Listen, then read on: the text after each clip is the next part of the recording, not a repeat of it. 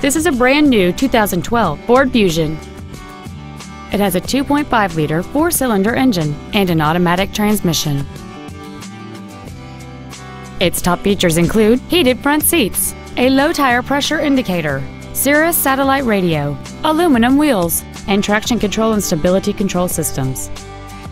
The following features are also included air conditioning, cruise control, an auto-dimming rearview mirror, a six-speaker audio system, a security system, front fog lights, privacy glass, dusk sensing headlights, front and rear reading lights, and the leather seats provide great support and create an overall luxurious feel. Contact us today to schedule your opportunity to see this automobile in person.